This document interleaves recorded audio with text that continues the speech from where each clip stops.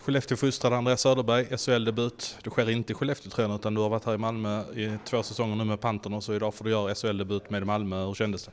Ja, men det kändes bra och det var riktigt roligt att där ute och få spela. När fick du reda på det? Det kändes som det kom väldigt sent. Eh, jag fick reda på det igår runt tretiden att eh, jag skulle vara med här så det var roligt. Fick reda på, de meddelade bara att det skulle hända eller? Ja, det gjorde de. Vad sa du då? Jag sa självklart att ja och att det skulle bli jätteroligt. Du har varit här och tränat med Malmö, det var någon gång förra vintern va? Eh, då fick du väl lite bra känsla, tränarna berömde dig efter de träningarna?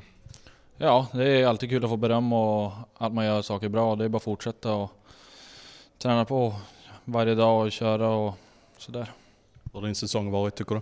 Ja men den har varit bra. Eh, lite trevande i början där på försäsongen i Panten och sen har vi spelat upp både jag och laget och det är en bra grupp vi har där och så det känns bra.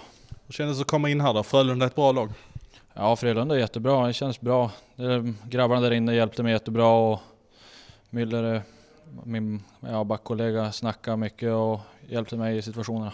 Müller, både du och Müller var i Hockeyallsvenskan förra säsongen och helt plötsligt ställdes ni mot kanske ett av Sveriges bästa lag. Ja, eh, det går snabbt i hockey och ja, men det är jätteroligt. Och, ja. Vad var det svåraste? Oj, bra fråga.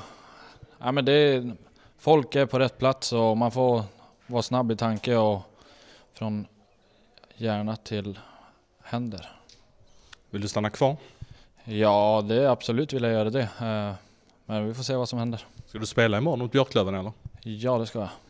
Hur känns det då att spela två matcher direkt efter varandra? Det, är väl, det klarar man väl? Du, du är ung? Ja, jag är ung. Det är roligt att spela. Det gör man med glädje.